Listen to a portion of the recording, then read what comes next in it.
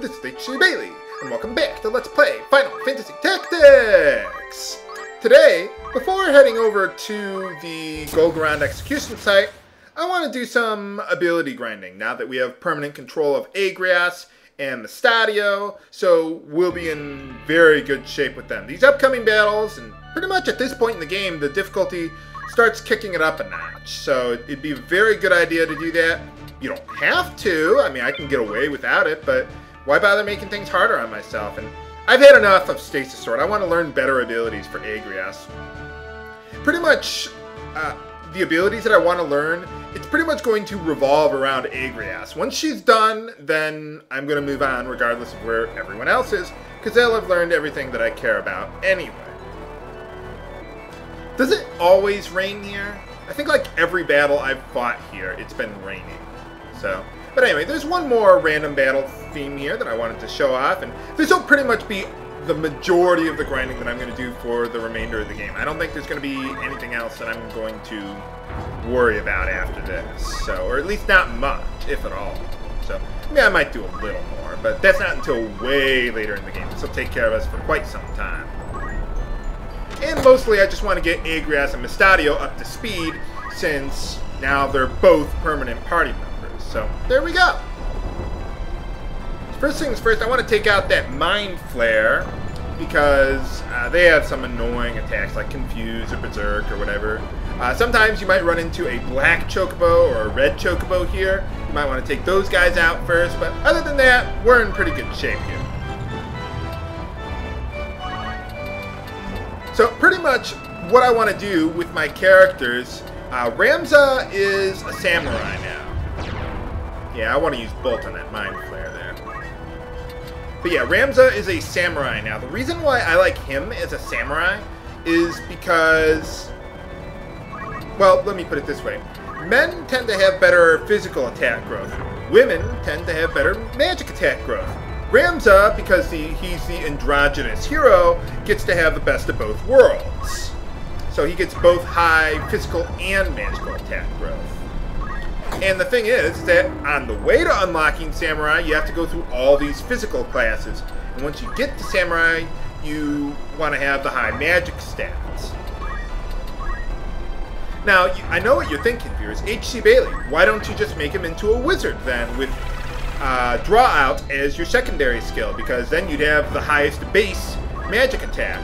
And, well, the reason I'm, I'm not going to do that is because I like Ramza's Guts ability better as a secondary ability than, or as a primary ability, than Black Magic, because later in the game, I don't think it's really going to be as useful.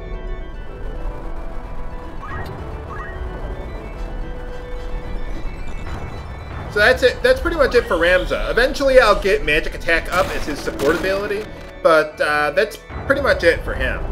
I also want to learn Blade Grasp for him eventually, but I'm not going to learn that for everybody. No, no, don't worry about that. I'm not going to go that far.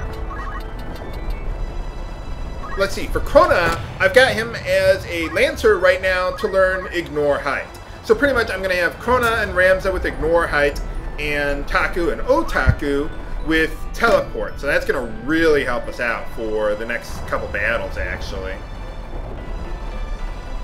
And then once I'm done with Lancer, I'm going to learn some other things. Uh, I want to work on Thief to learn some stealing abilities. Just because I've got nothing better to do while I'm developing Agrias into the classes that I'm going to be using her for. Let's see, Taku I'm not going to be using for grinding because I've pretty much learned everything I want for her. I've gotten all the curative spells that I really care about. I mean, I might learn Cure 3 or Cure 4 eventually, but they're pretty slow, so... I and I've learned all the crowd control that I care for Oracle. Uh, I don't really care for Mediator that much. I mean, if there's anything you think that might be useful for that, or for Taku in general, let, let me know. But, you know, because I've got some Proposition JP I could put to use, but really I've pretty much learned everything that I care about let's see, for Otaku there, I'm working on Time Mage to learn Short Charge, which will be really useful for summons, because summons are pretty slow to cast. But if you've got Short Charge, that'll let you cast them a lot faster. So that'll be pretty nice.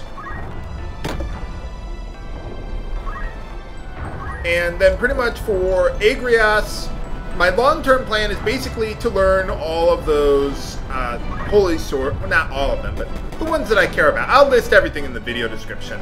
But essentially, I want to learn those holy sword attacks, and then I want to make her into a geomancer. The nice thing about that class for her is not even so much the elemental ability that you get, although it is kind of nice, I guess.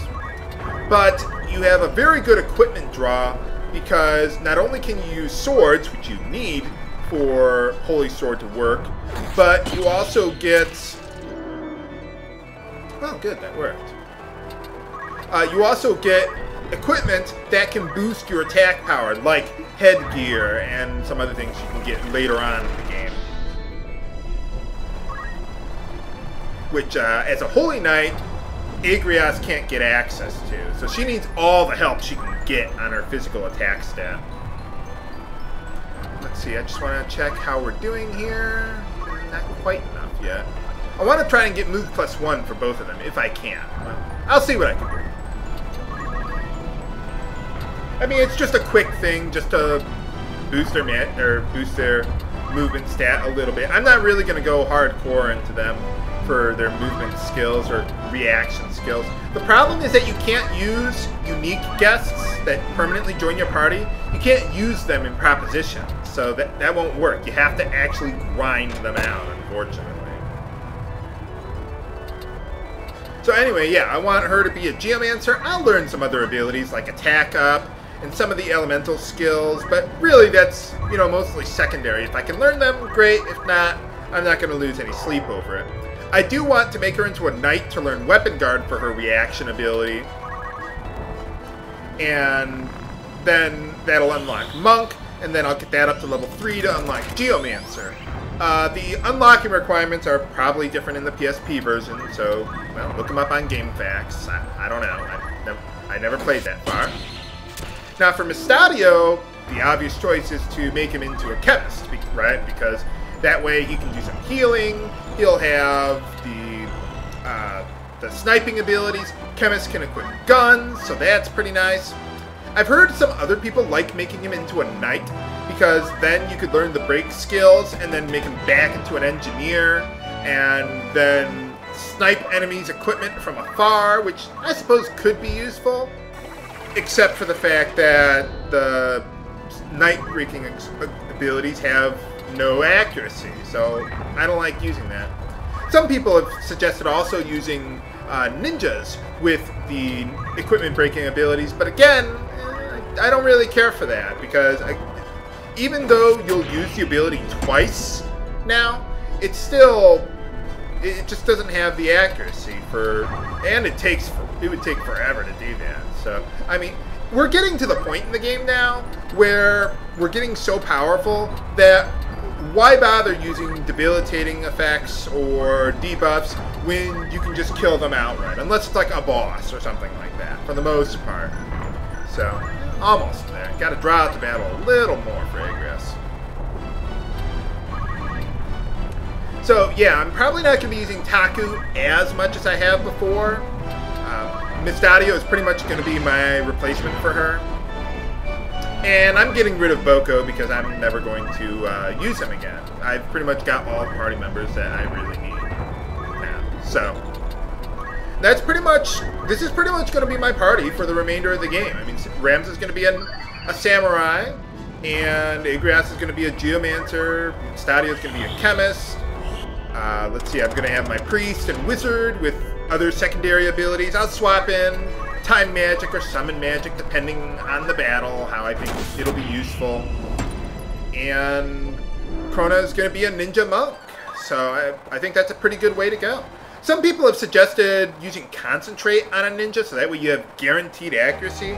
But I have another way of dealing with that. So that way we can use martial arts on my ninja and Punch Art, which is a pretty good secondary ability, because otherwise, I don't know. What do you think? Do you think there's another good secondary ability for a ninja? I mean, Accumulate from basic skill is kind of nice, but eh, I tried that and it just wasn't as useful as Punch Art. I think it, I, I love the versatility over the raw power of having Accumulate. So Now, let me know what you think about what I'm doing here. I mean, I'm pretty much going to have to stick to it based on what I've done, but if there's something, you know, extraneous you want me to try and do, maybe with some propositions, particularly on the mages, because I'm going to have the extra JP to work on them, so uh, let me know what you think, and I'm going to finish all the ability grinding that I've listed in the video description, and then we'll go to Golgorand Execution Site to rescue Princess Ovelia.